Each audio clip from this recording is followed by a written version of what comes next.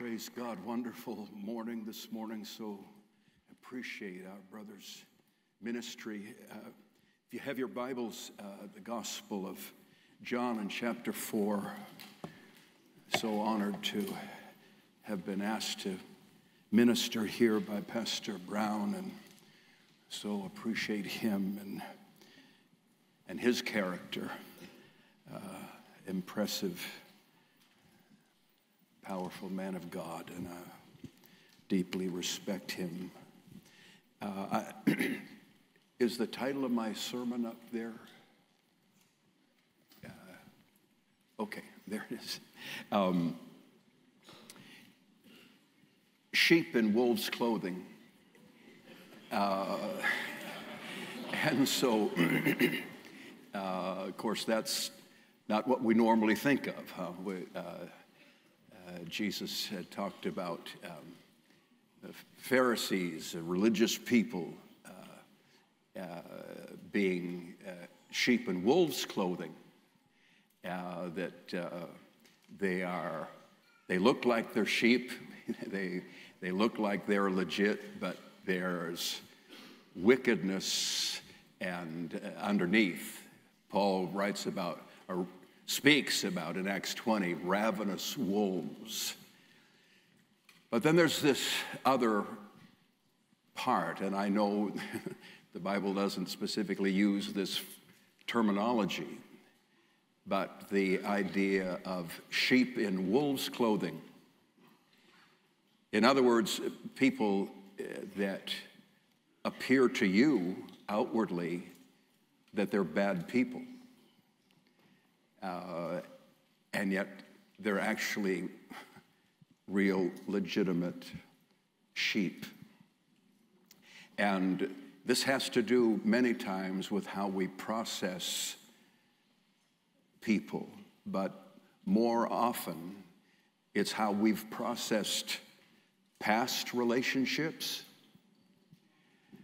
And there's this psychological term, and I'm not going to be talking about psychology. I'm talking about this is just how people explain. This is something in human nature, like this is what we do. And it's called transference.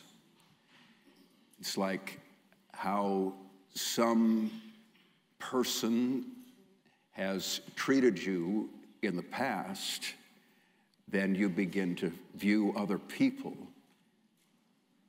through the lens of how they have treated you. And so, someone who's a sheep, that, and we're talking about negative treatment here, of course, how someone has treated you then becomes imposed, and you are you're viewing people who are for you, who are crucial to your destiny and future and development and your marriage, because you might be married to uh, a wolf in sheep's clothing, especially if you've had another marriage perhaps in the past. And so uh, we're, we're looking at a very familiar passage here, um, and there is no doubt, I think, that as this dear woman is uh, being uh, having an encounter with Jesus Christ, who I think we could all legitimately say is a good guy. Amen. you know, like, uh, and yet, obviously, she is viewing him with great suspicion uh, because very uh, the context tells us because obviously she's had some issues in her past. So let's look uh, then at uh, we will begin at verse 4. Uh, uh, but he, that's Jesus, needed to go through Samaria. And I've always uh, just been moved by that. You know, is that just the, is that just the shortest route? Or did he need to go for this dear woman? Right? That's what, that's what he needed to do. So he came to a city of Samaria, which is called Sychar, near the plot of ground that Jacob gave to his son Joseph.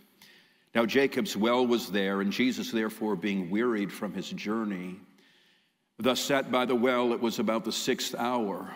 A woman of Samaria came to draw water, and Jesus said to her, Give me a drink. For his disciples had gone away into the city to buy food. Then the woman of Samaria said to him, How is it that you, being a Jew, ask a drink from me, a Samaritan woman? for Jews have no dealings with Samaritans. And Jesus answered and said to her, If you knew the gift of God, and who it is who says to you, Give me a drink, you would have asked him, and he would have given you living water.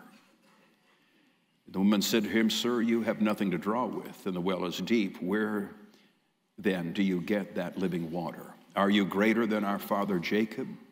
who gave us this well and drank from it himself, as well as his son, his livestock. And Jesus answered and said to her, Whoever drinks of this water will thirst again. Whoever drinks of the water that I shall give him will never thirst, but the water that I shall give him will become in him a fountain of water springing up into everlasting life. We won't read the rest of the passage just in the interest of time, but we'll be alluding to that. Let's think about this issue of transference. And so I, uh, I saw a, a, a, little book by this title and, and was just interested in the, in the terminology. It was actually written by a, woman speaking out of an experience that she had while she was uh, in university. And uh, she developed a friendship with this other Christian woman and uh, just really felt like they were uh, kindred spirits, you know, and uh, just uh, connected very well and had a, had a great relationship and they were serving God together. And then uh, suddenly this other woman moved away and she went on to other things. And, and now, as uh, this woman is, the, the author is thinking about this relationship. She is thinking about all these areas of conflict where this woman has wronged her. And she is, she is looking at this woman and saying, She's just like my mother. She's just like my mother, who was not a a great lady. And the reality is that this woman is absolutely nothing like her mother, had no eh, characteristics at all like her, but uh, this, she's being stirred more and more with resentment and hurt and bitterness over these perceived conflicts. And so she began to talk to other people about all the ways that this woman had wronged her. And she got so stirred that she wrote a, a whole uh, epistle to her based on Matthew chapter 11, uh, I'm, I'm, sorry, Matthew 18, right? We got to deal with these things, and you've done this to me and this to me, and, and, and you have this against me and this against me, and so we need to sit down like Matthew 18, and we need to, we need to settle this. And so she, uh, the, the, the friend writes back and says, I'm not in conflict with you. Like, I don't feel any of those things. Those things haven't happened. But rather than accepting that, then she begins to gossip about her and slander the other, the other gossiping and slandering, and she's like assaulting this woman, her friend, that she thought was like a kindred spirit, uh, and now she's tearing her down before all these mutual friends. And it dawns on her wait, wait, wait, wait a minute. This is a demon, right? This is a spirit. And I have made this relationship like an, like an idol, like this friendship. This is, this is going to be a close friendship with, for me. And uh, and so, like I think we've heard this week, you know, thinking more about this relationship all the time and being moved by uh, the feeling of that rela- relationship and the condition of that relationship more than God Himself. And so uh, our relationship becomes an idol, or our wounds or sense of, of grievance. Our sense of grievance becomes the thing that consumes us and fills our minds rather than God and the things of God. She renounced idolatry, right? She renounced, uh, uh, she repented of bitterness and resentment and, and suspicion, and she got free. As this friend, this friend was not a, a wolf, she was a, a, a sheep. Transference in the uh, is defined the Baker Encyclopedia of Psychology. It says the term means literally to convey information or content, content from one person, place, or situation into another. The usual pattern is for a person in the present to be experienced as though he or she were a person of the past. This transference, at least from a psychoanalytic point of view, is basically a repetition of an old object relationship in which attitudes and feelings, either positive or negative, pertaining to a former relationship, have been shifted on to a new person in the, in the present. And so it is, uh, I don't think there's any doubt that there's a dynamic that is working here as uh, this woman is spoken to by the Lord Jesus Christ. She's a woman of Samaria. We learn uh, from later in the uh, chapter that she's had five different husbands and so given up on marriage that now she didn't even bother marrying the next guy, and so she's shacking up with this guy. And so, uh, so she's got some man issues. Right? And uh, whether all of these men were horrible men that she had to divorce, or maybe she was just how she viewed that, whatever. Obviously, like her experience with men has not been great uh, and has meant the, the shattering of five relationships and, a, and an unwillingness to commit to another one. So to walk away from that in, uh, in due time. But there's also like a, an ethnic or racial thing that's involved here. And certainly, uh, it says the Jews and Samaritans, they don't have any relationship one, with one another. And so you know that, uh, you know, Jesus comes into Samaria at uh, one point in, in, the Gospels and they reject him. And then uh, James and John, as, you know, this, the wonderful, loving Christians that they are, want to call down fire from heaven to, to burn them all for Jesus, of course. Uh, and, uh, and, and so obviously, you know, there's, a, there's high emotion when it comes to the interactions.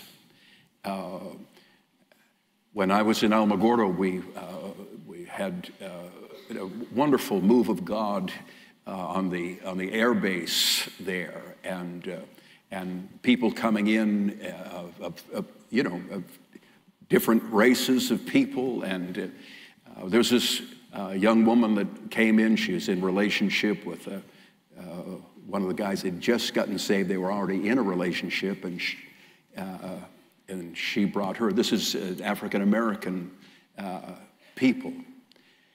And when she came in, right, she uh, she just had like hate and suspicion in her eyes, you know. But it was one of the most remarkable conversion experience. Uh, if, if, you've ever seen this, it's so powerful. And I, and it's, I saw it particularly twice in Alamogordo that you see someone come down to pray in the sinner's prayer, and when they have a face, and after they pray the sinner's prayer, they lift up, and their face is different like something supernatural. We know salvation is supernatural, but it just such a it's a like a deliverance. Well, she had issues with white people. Her grandfather was lynched. Like, that's not an easy thing to process, right? You're, you're talking about like the worst kind of treatment that you can receive, no matter, not to mention whatever uh, things were imposed upon her just from the culture around her growing up in the South. But she got free, right? And they are, uh, they went out to Pioneer, didn't work out, and they're, today, they're in the, the Chandler Church, right? I believe he's on the church council, right? You know, they, they went on for God. But it, it, it took that like a miracle, right? Like I'm, I, I cannot, I cannot view these people. I, I married them, right? Like the, it's like the, uh, but how, how strong that can be in human personality. She said, and the woman of Samaria said to him, How is it that you, being a Jew, ask a drink from me, a Samaritan woman? So, uh, for, for Jews have no dealings with Samaritans. So here, here is Jesus, right? This is, this is God incarnate. This is the finest human being that's ever walked the earth. This is a, a, a man of compassion and grace and mercy and kindness, like her future life and eternal destiny. Uh, he wants to assure to be a, a glorious thing, and he is treated like a Jewish male wolf, right? Like arm's distance. Why are you even talking to me? She is in danger of rejecting the Son of God. Jesus hadn't done anything wrong. He's sinless, and yet she transfers how she has been treated in the past upon him. I know what Jews are like. I've had my dealings with Jews. I know what men are like. They're all just in it for sex. They're just all in it to exploit. They're all, you know, I, I know, I know men. Or they, they say you love, they love you, and then they reject you. So I, I, I, I get it. And so this is this experience in life where here is someone who can be such a blessing to you but you view them from the lens of this other relationship. I was thinking about Hanun, you know, who, uh, uh, uh, you know, David sends a, uh, uh, his, his, Hanun's father passes away, he was the king, and David sends two guys to him uh, to just express condolences because Hanun's father had been a blessing to him uh, in the past. And so here's a man, that, you know, like he's grieving the loss of his father, certainly. He's just had the weight of the kingdom upon him. You know, here's an opportunity uh, for good relationship between himself and, uh, and the, the kingdom of Israel. But there were some suspicious people that began to tell Hanun, no, they're only here. They're only here to spy out the land so they can come and conquer you. And so he, he responds in that way, humiliates them. The result of that is like these, this war, these battles that take place that kill like tens of thousands of people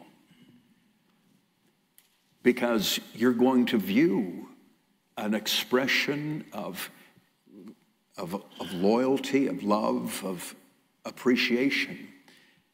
And, it, and your reaction is going to mean the death of thousands.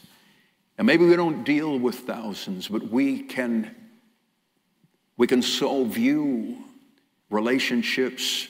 And, I, and I'm talking really to focus on how you view your pastor many times.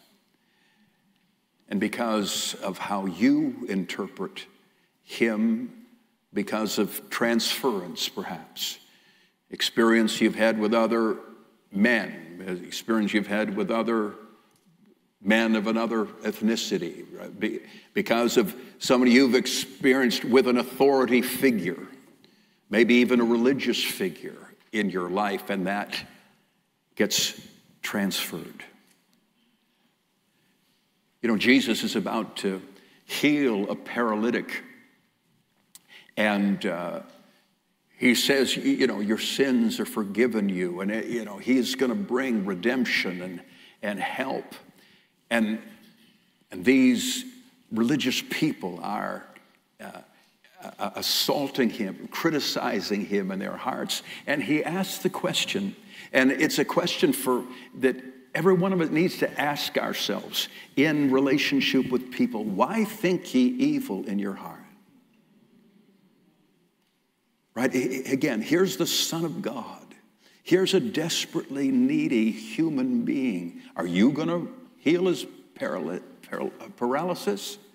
Are you going to forgive his sins? Are you going to address the need? No, but you want to keep him because you can you view this wonderful life through the eyes of suspicion, pride, rebellion.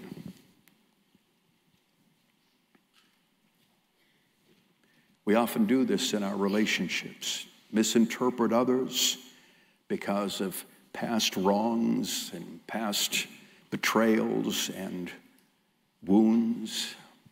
And this is something that pastors need to battle ourselves because occasionally we get betrayed, we get lied about, right? we have things that are spoken about us, and uh, they can be extremely painful. Sometimes that you've invested your, your life in and, uh, and have these are your converts sometimes, and people that you've given an opportunity to do something for God and invested thousands of dollars in them to bless and serve, and they turn on you and begin to lie about you and uh, all manner of evil. And, and for a pastor to, to resist cynicism right? To, to think, okay, I'm not doing that for anybody anymore. Or any little thing. Somebody just asks a question and you see Judas, right? Like you see betrayal under every bush. Like it's like, no, you gotta, you gotta get the victory, man. You, you got to, you know, who's, who's got betrayed over the years more than Pastor Mitchell, you know? And yet again and again, despite all that has been said, all the rebellions, all the injustice, all the people that he gave his heart and resources and credibility to, he was still willing again and again to invest in people. And every person that he invested in was imperfect, because that's the only kind there are.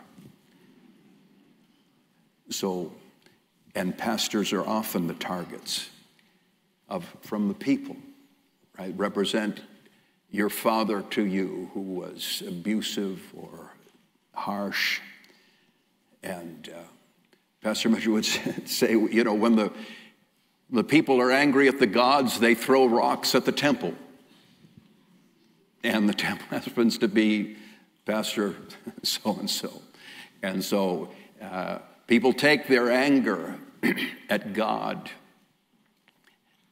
at the pastor. They don't even realize that, right? It's somehow you have failed me. Like you said God was good, you know, what's, what's wrong? But I want to think here because um, what we, it, it, it's, it's not fun to recognize it. Uh, you know, we want to have compassion, certainly. on the wounds and hurts and wrongs that have happened to people's lives and not condemn people that have been through some very traumatic things. But there's no amount of trauma that justifies sin, right? Like, like we have to, we have to get there. And that we've got this problem, right? And it's this thing right here. It's our hearts. And what the Bible tells us about this is that it likes to lie. And the person it likes to lie to the most is ourselves. Bible says that our hearts are deceitful above all things. Does that include the devil? I, I don't know. you know, it's, it's deceitful above all things and desperately wicked. Who can know it? Or one translation says, and there is no cure. And I don't think that that means that there's, uh, there's, there's no way you'll, you'll ever recognize, but it, it does mean that can, you can never say, My heart will never be deceived again. That we, we have to recognize that. And so, to recognize that how we are processing people can come out of not the hurt, but the, but the sin that hides behind that, like pride. You know, the Bible says, with pride cometh contention. And so uh, you can say, and there could be a great validity. You know, you, you've been wronged, you've been hurt, and so you're uh, extra defensive, right? You're extra uh, careful, uh, you know. But there's also a point where it's very prideful for you to impose uh, bad character on people that have not demonstrated that bad character and that you know. I, I know. I know people. No, you don't. You don't even know you. And, and, and that's the issue. Yeah. And, and I just I want to make this statement. I didn't have him put it on the in a quote, but it's really hard to get to know people. You can be married to somebody for years and you still don't fully get them. If you think you do, just ask your wife and she'll say, No, you don't. you don't get me. But, uh, and so, uh, just to know, if you, we just, yeah, I know, I got them nailed. I've got them. Na- no, you don't. The people are really hard to get to know. Well, I'm not proud, I'm insecure. Well, check again. Just check again. And rebellion, right? Rebellion linked to pride, of course. You could have been wronged, but now is, is that the issue? Okay, you had a pastor that failed in some way or wounded you in, in, in some way. But your present pastor, that's, that's not he, right? Like, don't, don't do that.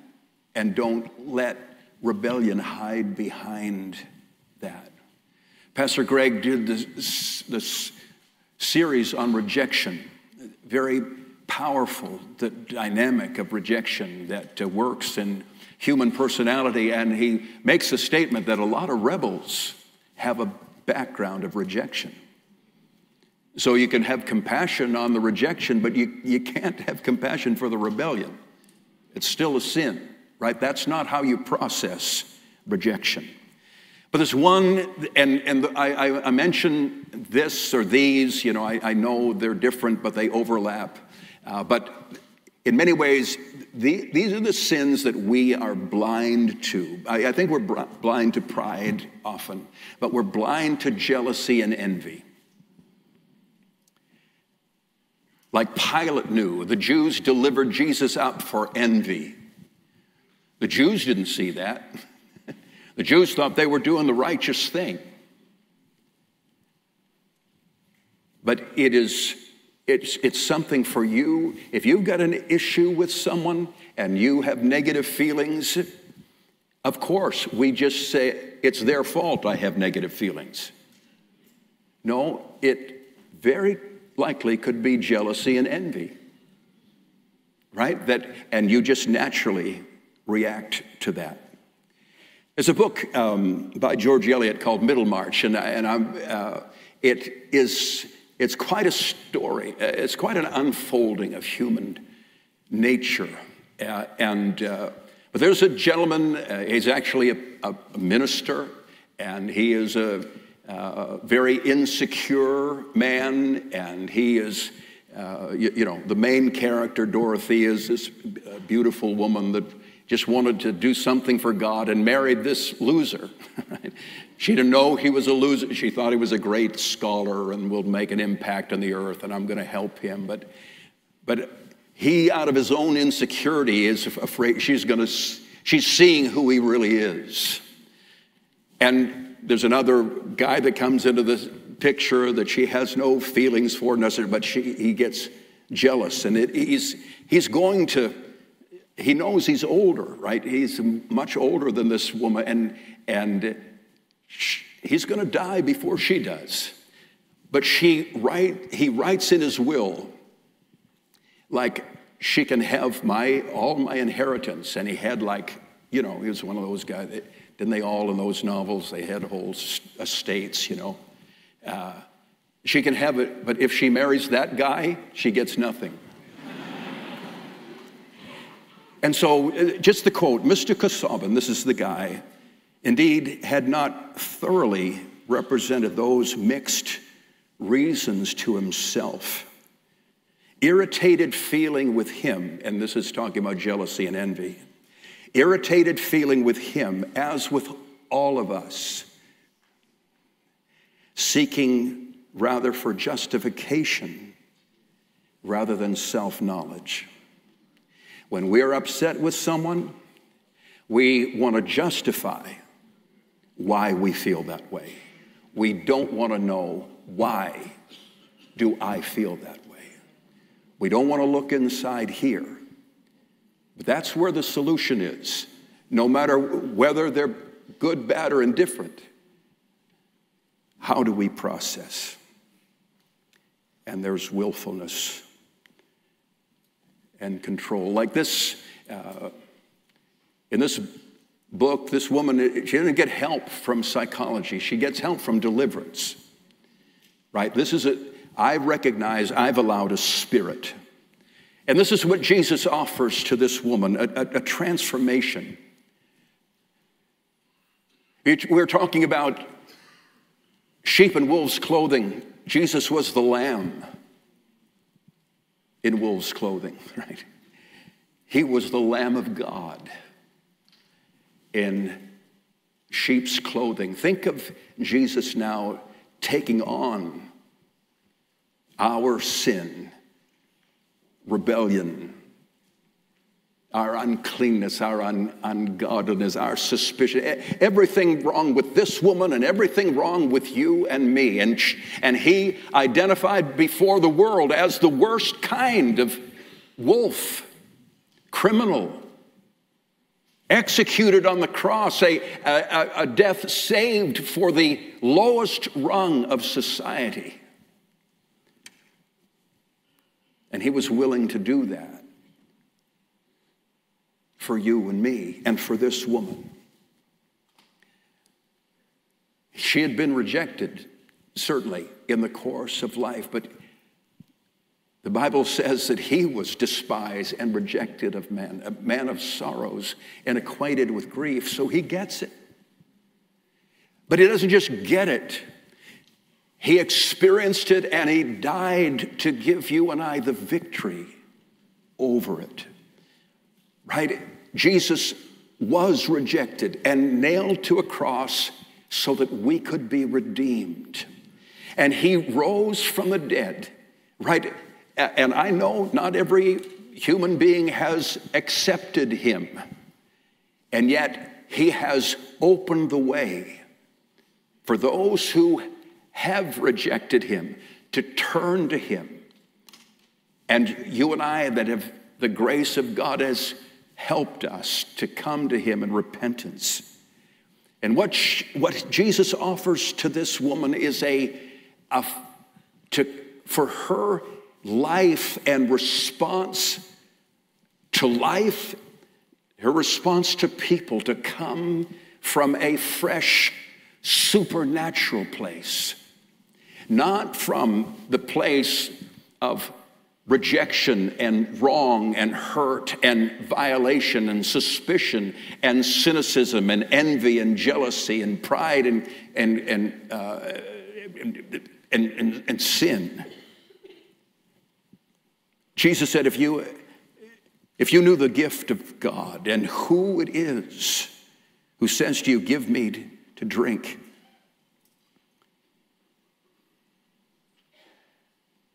and you would have asked him, he would have given you living water. Whoever drinks of this water will never thirst, but the water that I shall give him will become in him a fountain of water springing up into everlasting life.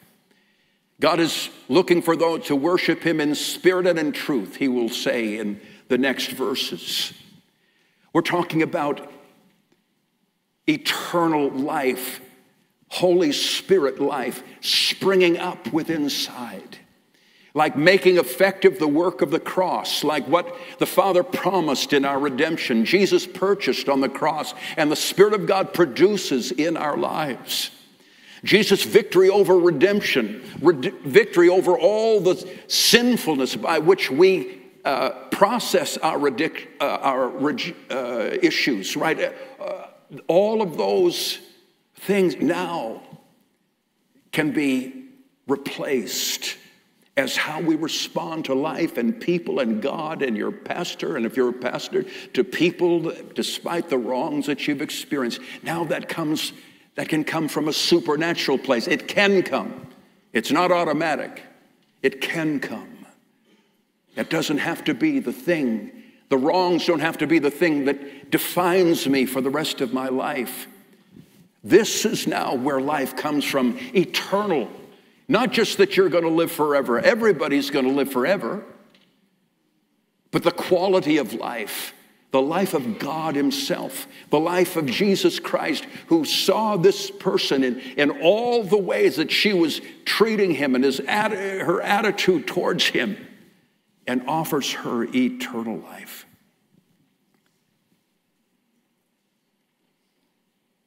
He asks about her husband. Graciously, kindly, she tells him, and he says to her, You have spoken truly. That's, that's where it comes down to. Come to him and tell the truth. Tell the truth as the Holy Spirit gives us the ability to see the truth and say, you know what, it's really not my pastor. Oh, you know, maybe he didn't shake my hand one day. Maybe he was short with me because there were issues of others that he was dealing. Oh, all of that stuff can happen. We're all subject to those things. She said, well, well, you know, I know someday the Messiah is going to come and going to make it right. You know what? You know what, dear lady? That Messiah, he came all of this way to sit at this, at this well for you. He's here for you.